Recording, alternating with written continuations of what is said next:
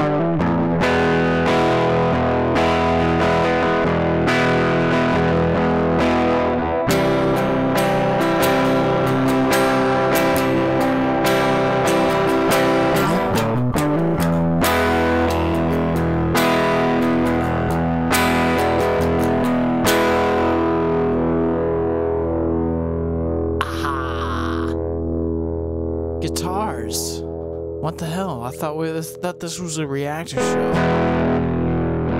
This is a Reaktor show, boys and girls. This is a Reaktor show. As you can see, I have Reaktor up and running. It's really it's like a mini Reaktor. You can barely see it. It's Reaktor. It's still Reaktor. And what I also have is I have Reaktor running as what's this? An audio plug-in because that's what boys and girls Reaktor can also run as an audio plug-in. And it's pretty incredible when you use it like that. It's you know think about it. Reaktor creates audio and then you process that audio in a series of filters or eqs or distortion boxes. That's what this is a distortion box. Very complex distortion box. Driver combines a smooth 12 dB octave state variable filter with a powerful distortion unit and interesting modulation capabilities. It is suitable for a wide range of applications from light saturation to very animated distortion. The top half of the interface consists of the basic filters and distortion controls. The lower half contains parameters related to modulation, including an envelope follower and an audio modulator. So there's a lot of stuff that this driver can do. A lot of stuff. And really all I'm doing, I, I don't have it I don't I don't have it on a synth today, boys and girls. I have it on a guitar because that's what a fucking distortion box is. Or that's what it goes on. To me, in rock and roll, it goes on guitar. It doesn't necessarily always go on the E chord, but it goes on a guitar. And what I wanted to use today's episode to illustrate is that Reaktor is not only a synthesizer, boys and girls, it's an audio plugin. So anything you have in this, think about it. A filter, your favorite filter, that Monarch filter, that classic Moog, that classic mini Moog filter, that classic four pole ladder filter that you know and love. Don't you use it as an audio plugin? You know, why don't you throw it on a guitar? See what that sounds like. Throw it on a voice.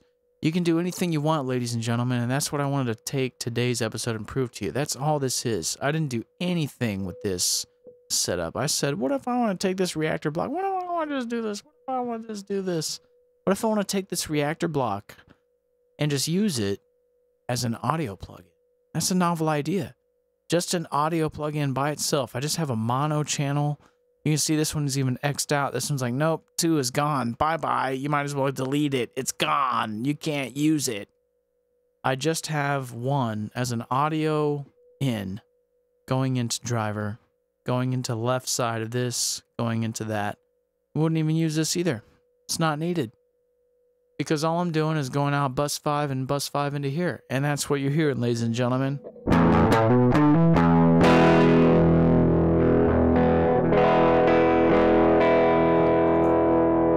Now, this is pretty cool. And you can do whatever you want with this. So, what I want to do is build a little bit of a, a pedal board and just maybe throw a little bit of a distortion and a delay and show you what that looks like. Show what that builds like. Because it's very simple. It's very, very straightforward. So, and we can do this in blocks. There's effects. I got I got some blocks effects. We got some different things. And right now, today, for today's episode, we have it running on a guitar track. So we don't have it running on a synth track. We don't have it running on a voice track. We don't have it for today's purpose. I've got my lovely guitar in hand. This guitar is actually new. It's a new guitar. And I love it. That's why I can barely keep my hands off of it. Her name is Charlotte. She's a heritage guitar, Les Paul style. But enough about Charlotte and more about Reaktor. What I'm going to do now is I'm going to build something new. I'm basically going to build something like this and show you how I built it. But I'm going to add maybe one or two things to it. Who the fuck knows? Let's just build it. So, what I'm going to do is what I always do, I think, here. I'm going to go into Reaktor blocks. I'm getting familiar with where my blocks new is. So, I'm trying to get fairly handy with learning where that is. What am I going to need for today? I'm not going to need jack shit. Other than the essentials. I don't even need that. I Don't even need number two. Just need number one. Just number one. That's all we're going to do. All we're going to do for today. I like this driver. Let's just add it. I like it. Let's throw that in. Patch it in. Let's not patch it in. Let's see what else we got. Because I'm going to build a board. It's a board, right? So it's going to be a little pedal board.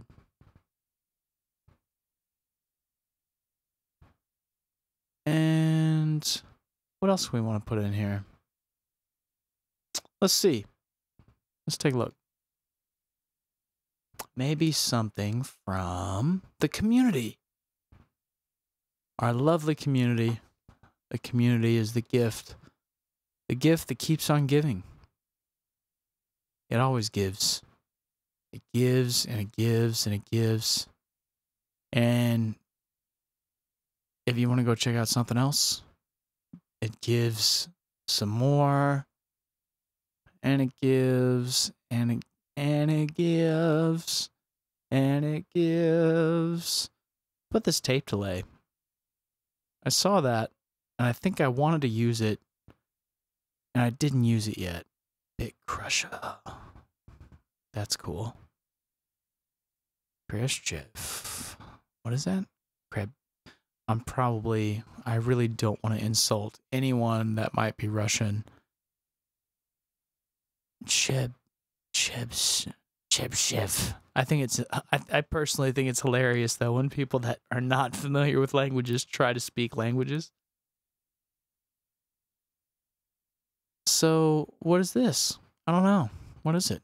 What are you? This is a wave shaper distortion based on Khrushchev polynomials. This type of wave shapers were designed to output harmonics of sine wave inputs with a range of negative 1 to 1. If you input a sine wave with any other amplitude range, or really any other signal, you would get unusual results like unusual. Unusual's good. Unusual's good, boys and girls. So let's let's use the Khrushchev Chibsh, Chibshiv. I really am sorry for anyone that takes offense to Chibshiv. I'm so sorry. Um, I just don't speak the language, and I'd love to learn it, but right now I'm learning about Reaktor. And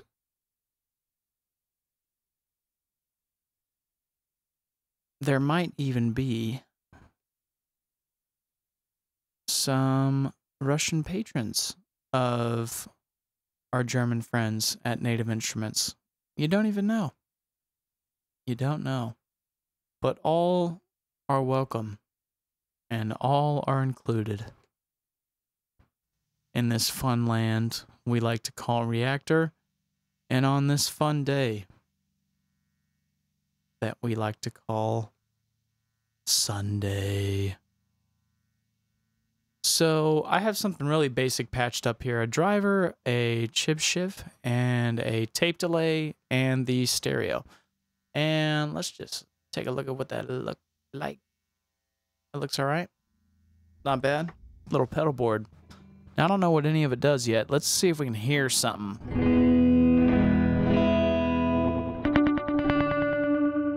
That is definitely the tape delay.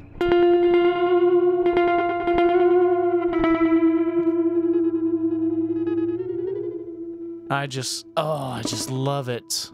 I just love it already.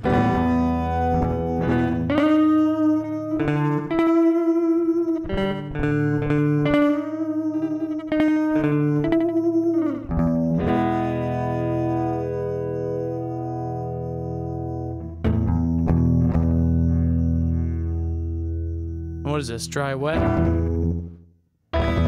Doesn't seem like a dry wet. It's not working like that. Well, I think that's because of how the outs are structured. So, yeah, that's not really right. We actually don't want the wet signal going out. We just want the out signal going out, I think. So, let's just let's eliminate confusions altogether.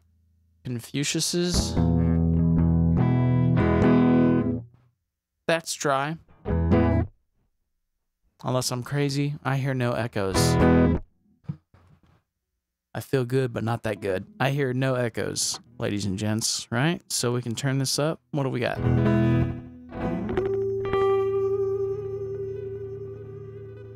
There's our echo.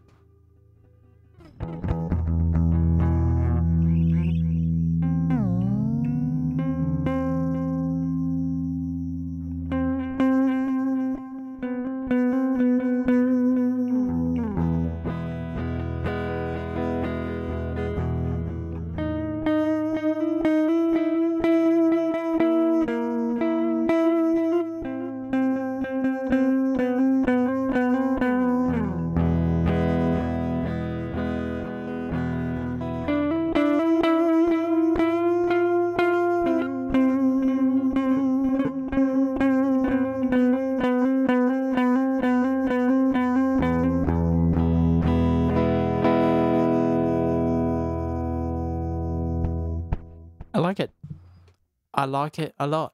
So let's get that to dry and then let's maybe bring that in later. Let's see what Chib Shift does. Let's see what you got.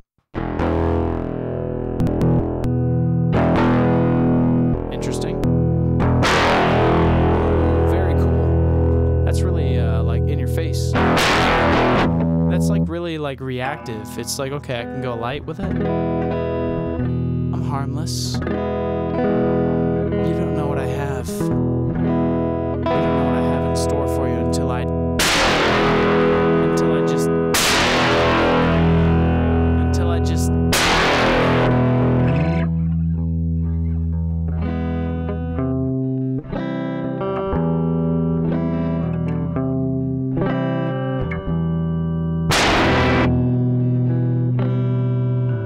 Yep. Sorry to do that to you guys, but I just had to show you. It's interesting because it responds to the input. It responds to the input gain in an, in an intelligent way. It doesn't, you know, you can really, you can just be on the edge of breakup. You know, you can just be really light. You can start digging in, and then you hear it. When you get really rough with it, is Rin is that when you get super rough, that's when you want to run for the hills. Yep, run for the hills with that one. That's pretty it's pretty interesting.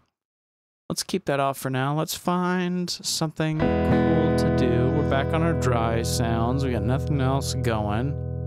Let's kind of find something different going on with this. Kind of like what I had earlier. That's interesting.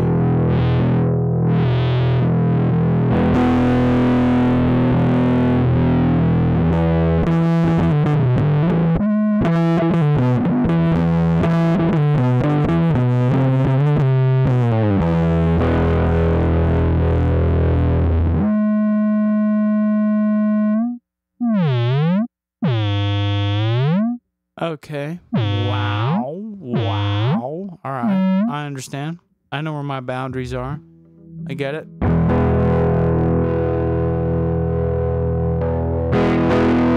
See, that's cool though. I'm, I'm, I'm okay with this territory. It's telling me I gotta live here. I'm alright with that. It's cool. Let's see what we got here. Ooh, uh, yeah, some of this, I don't know what this little crispiness means, but I, I kind of like it up in here. A little bit better. Uh, Little bit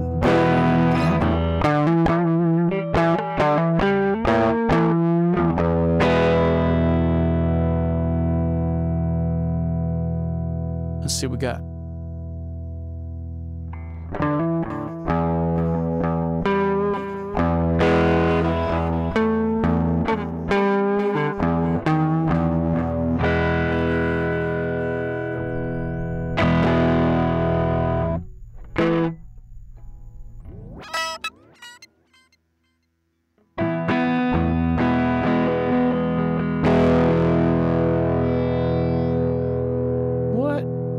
These knobs are. Mm, Knob, no info.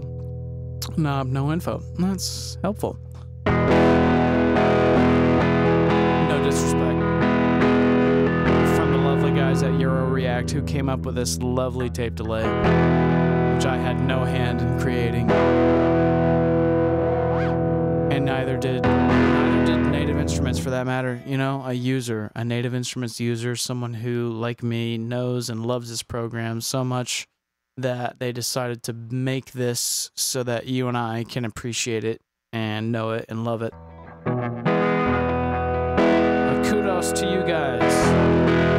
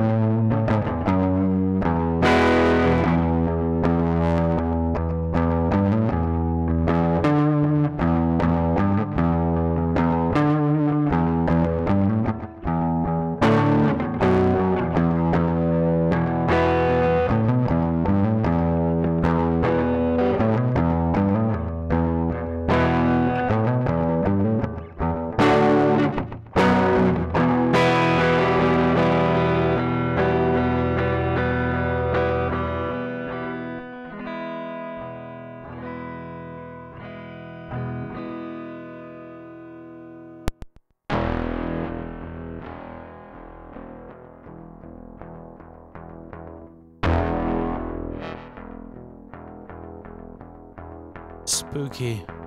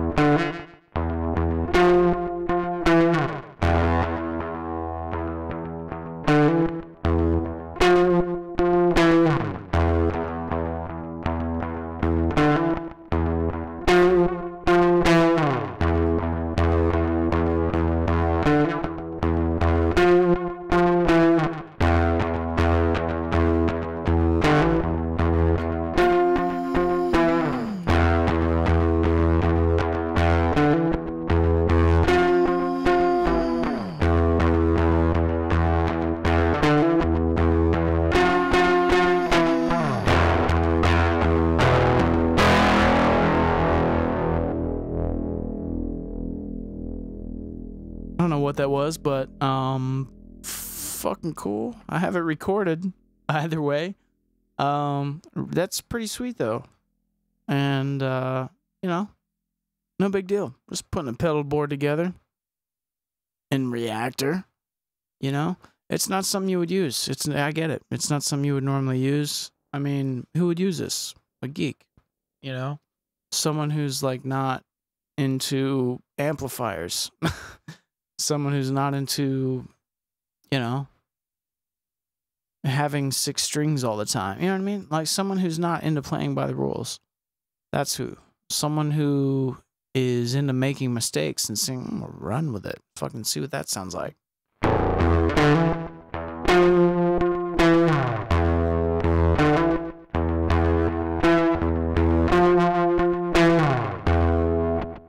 Mistakes creativity, the path forward. Just keeping, keeping on, keeping on. It's all one and the same. you know? And as I've as I've said before and as I'll say again, I think if you just do, then it will come to you. The ideas, the steps, you know, the things that are cool, the things that are not cool. You know, it happens. That's part of creativity. You got to go down to go up. But when you're up, you know, you're.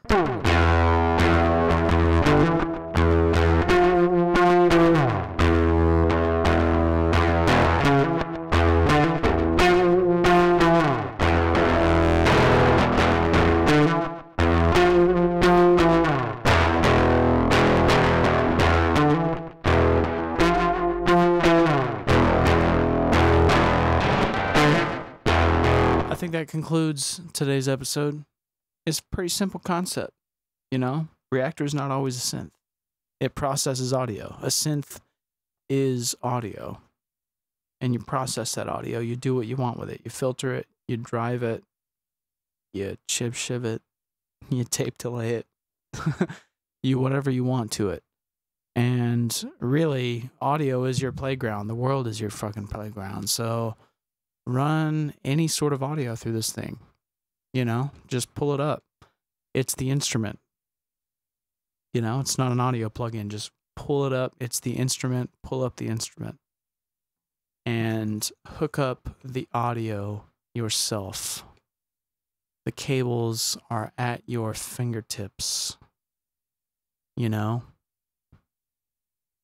put them wherever you want.